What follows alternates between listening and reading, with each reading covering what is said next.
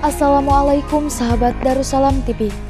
Alhamdulillah, berkat doa dan dukungan semua, edisi Selasa 15 Agustus 2023. Pelaksanaan pelatihan Nahwu metode Al-Fahmu bersama Al-Ustadz Asep Saifullah Al-Fahmu di Pondok Pesantren Darussalam Raja Polah Tasikmalaya berjalan dengan lancar.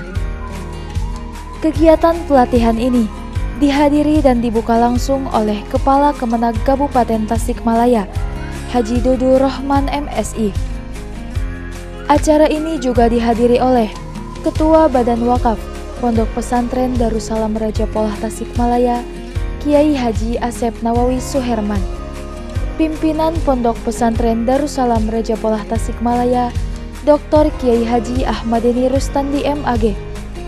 Kasih PD Pontren Kemenag Kabupaten Tasikmalaya, Dr. Haji Ahmad Buhaiti MSI, RMI PWNU Jawa Barat, Kiai Haji Tata Tasdik SHI, PCNU Kabupaten Tasikmalaya, Dr. Andes Kiai Haji Dadang Romansyah MSI. Acara ini juga diikuti 211 peserta dari 75 lembaga yang telah ikut berpartisipasi dalam kegiatan pelatihan ini.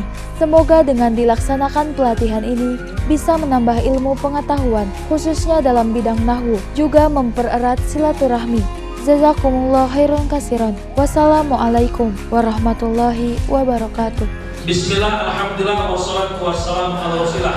Kami peserta pelatihan Nahwu metode Al-Fahmu 183 peserta dari 61 pondok pesantren di wilayah Kabupaten Tasikmalaya dan sekitarnya yang berada di pondok pesantren Darussalam Raja Pola dalam rangka memperingati 100 tahun Gontor mengucapkan